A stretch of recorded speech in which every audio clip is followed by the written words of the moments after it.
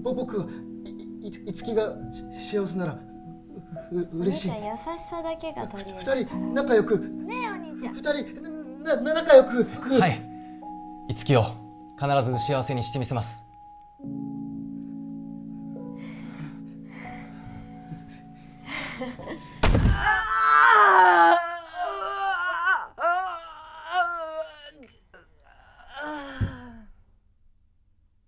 死んでるえちゃうんだよ。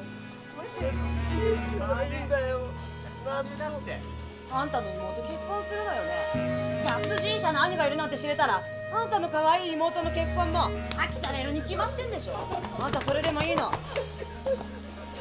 本当に大五郎さんの居場所は知らないんですか